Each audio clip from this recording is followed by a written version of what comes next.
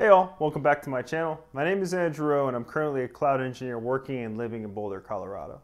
Now in my last video, you guys had a lot of really great questions in terms of, you know, what, Andrew, what should my next steps be um, if I want to actually put my first foot forward into getting a job as a cloud engineer, as a cloud security engineer. And rightfully so. I mean, you guys asked some really great questions and I kind of wanted to sum up, you know, kind of base level next steps that you guys could take right now and it doesn't really involve any of the you know generic advice such as you know are you on the traditional career path? Are you going to be getting a bachelor's degree? Uh, what kind of projects are you working on? So in this video i really wanted to show you guys three certifications that i think you can get within the next say one to three months that are really going to help propel you into that next step of actually actioning on becoming a cloud engineer a cloud security engineer or getting into cloud for the first time so without further ado Today I'm going to be presenting you guys the three certifications that I think you should get right now if you want to become a cloud practitioner or a cloud engineer or a cloud analyst. Let's hop right into the video.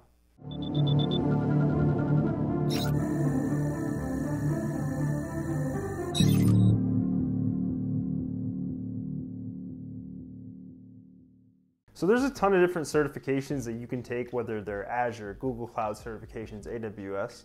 But me being mainly an AWS practitioner, I'm really going to be focusing on the AWS cloud and you know certifications that go along with that. So my first certification that I'm going to recommend to you guys to take and especially study for on this one is the AWS Certified Cloud Practitioner exam. Now I know a lot of professionals will kind of gear you away from this one and say you should really just focus on the solutions architect first, but this is going to be re really geared towards people that are just getting into the cloud for the first time, right? I got a ton of questions of Andrew, you know, I don't know anything about the cloud. Where should I start? And it's really hard for me to answer these kind of questions, you know, in the YouTube comments or, you know, off the cuff. So I really think that if you study for the cloud practitioner exam, you're going to get a really good baseline of, you know, not only what the cloud is, but just working in a cloud computing environment in general. I know a lot of you guys come from, you know, on-prem or just totally non-technical backgrounds and you're trying to hop into the cloud where it, it, it makes you kind of baseline be a little bit more technical than you would on-prem because everything is so interconnected. There's so many APIs, there's so many automations. Um, there, there's so much automation that you can leverage. So I really recommend this kind of certification. Now you're gonna get a really good glimpse, um, as I've stated in my last video and in previous videos, of how the cloud works on a baseline level. So you're gonna get to know all the resources that you're gonna be using.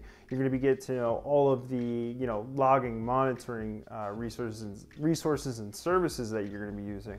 But you're also going to really understand the basics of cloud that are going to help you pass the next certifications that I'm going to be talking about. Now, some resources, and I'll link them down in the description below, that I think you should be using in order to actually pass this certification. One of them being A Cloud Guru. I know I get a lot of questions in the comments, um, and thank you for those, but I get a lot of questions in the comments saying, you know, A Cloud Guru doesn't cover certain questions. Now, I know I've said this before, but I'm just going to reiterate it again. When you're taking these certification exams, AWS is actually going to put some questions in those exams themselves that aren't going to be graded. Now, what the purpose of those is, is that AWS wants to see and gauge how difficult their test is, whether it's you know the certification you're taking right now, or uh, how difficult a you know certification later on will be, like the cloud uh, or the architect architect associate or developer associate. So what they're going to do is they're going to throw in these questions that are actually much more you know, high level or actually whether you want to put it this way or not, granular level than what you're used to.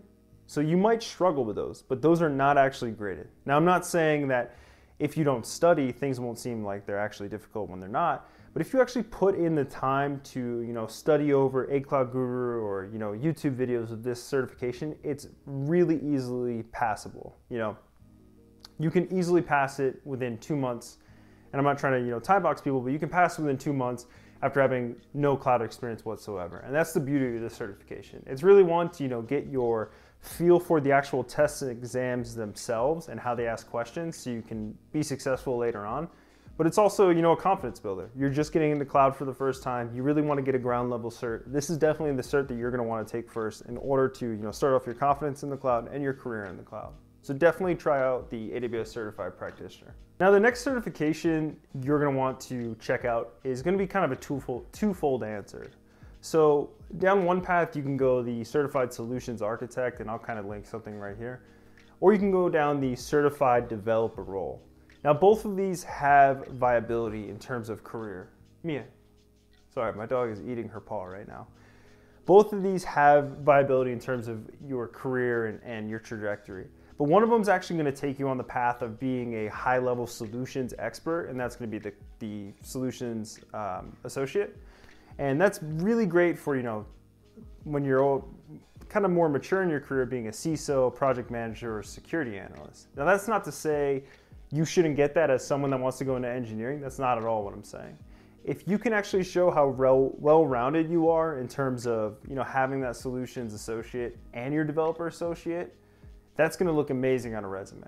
But if you actually just want to go down the first career path of solutions associate, what you can kind of expect is high level, you know, architecture solutions that you're going to have to know, you know, at a high level, what kind of resources are going into them, what's the cost of those uh, resources and services when they're coupled together, and what kind of basic solutions and, you know, towards the end expert solutions you can create as a non-technical practitioner in the cloud. This is really, really useful again for CISOs, project managers, cyber analysts, things like that.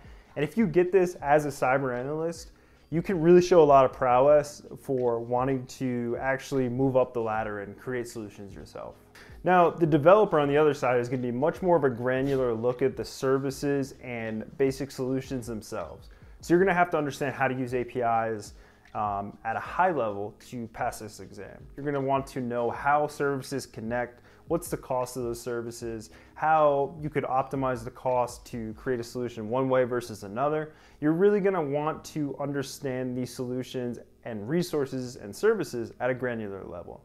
So if you're going that the, down that developer role, you can expect you know people that are cloud engineers, um, cloud security engineers, and even uh, cloud analysts. You know, I really recommend that as an analyst, you really give both a shot. So, you know, you give the high level architecture solution part a shot, but you also give the developer part a shot as well.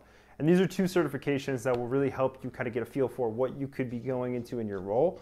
But also, they're going to really look great on a resume where you're going to look like an extremely well rounded professional when you go in for your first job and you're not only equipped with how to create these solutions at a high level, but you're also equipped with how to create them at a granular level and actually deploy them and action on them yourself.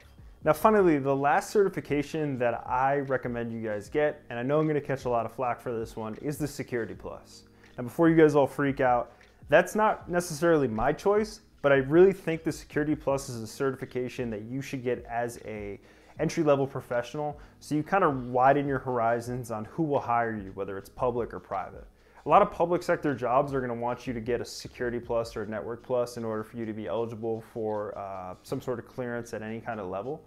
And it really shows, um, you know, how valid your security skills are at a baseline level. Now, I will say the exam itself is a bit outdated. It's talking about a lot of on-prem stuff that the cloud actually takes care of itself. But again, this certification is really to look good on a CV and, or your resume, wherever you're from. Um, and it really, you know, opens your horizons who will hire you. Like government clients want this kind of certification. It shows validity to them. I'm not necessarily sure why, um, but again, I'm just trying to play within the parameters that I'm given. So if I'm giving you guys advice, I'm really going to recommend that you guys look into the Security Plus. And again, I'll have links for that in the description below. This will kind of show you know that you have not only the cloud side but you have the basic security side as well. And you're you know a jack of all trades. You have the solutions architect associate where you're creating solutions at a high level. You have the developer associate where you're creating solutions at a granular level where you actually understand the solutions themselves and you're able to you know kind of explain them to someone else.